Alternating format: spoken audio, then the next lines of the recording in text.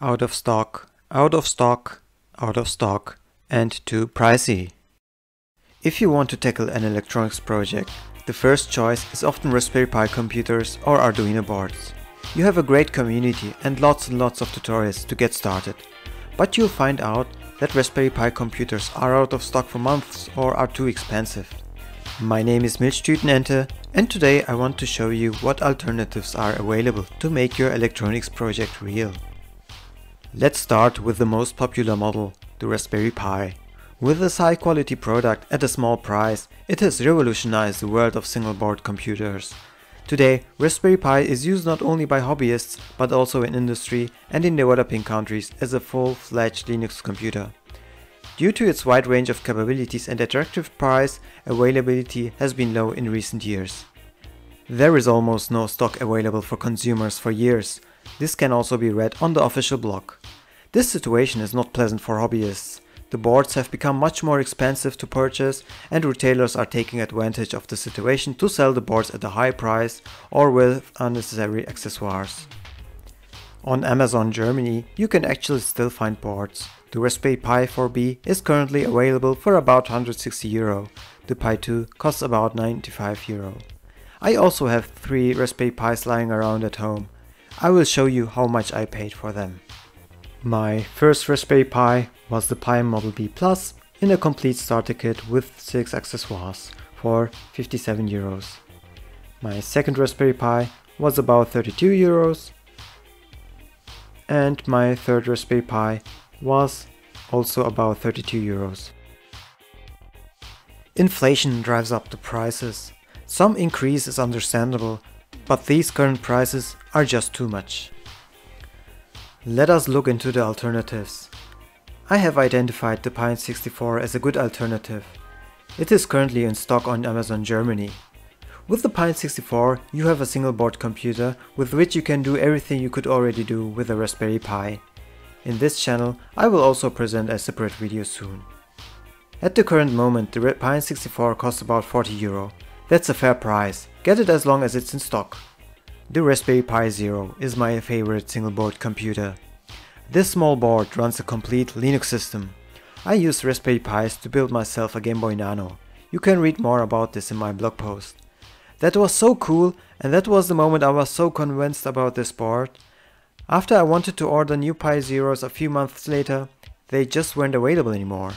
Until this day, the availability of Pi Zeros is still very poor.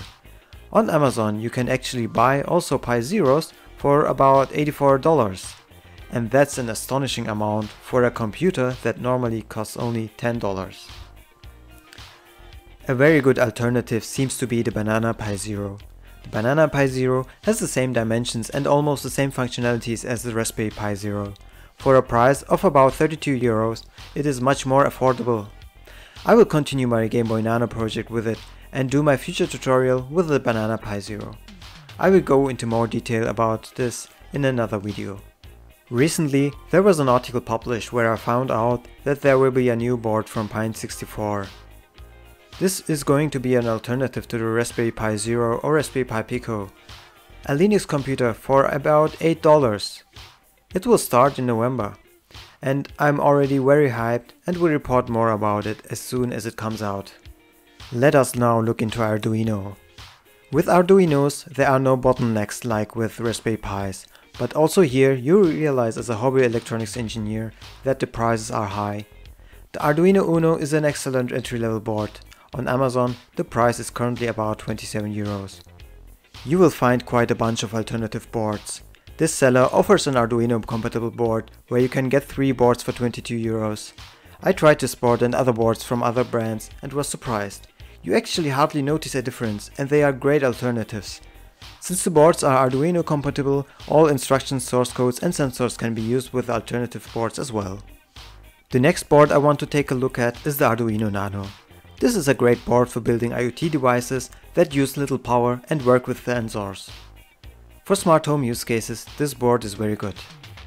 However, the price of the Arduino Nano is significantly overpriced in my opinion. It costs about 17 euros per board.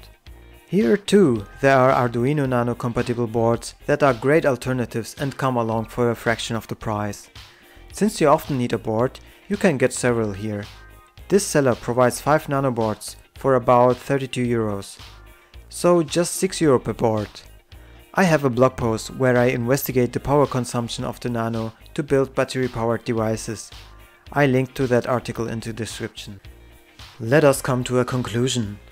You don't have to rely on individual board manufacturers.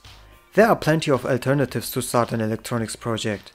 Alternative boards are often compatible with the brand boards and you do not have to accept any disadvantage. In further videos I will go into detail about each individual board. Follow me to be notified. But that's it for today. If you like my video, I would be grateful for a like or subscription. Until next time, auf Wiedersehen.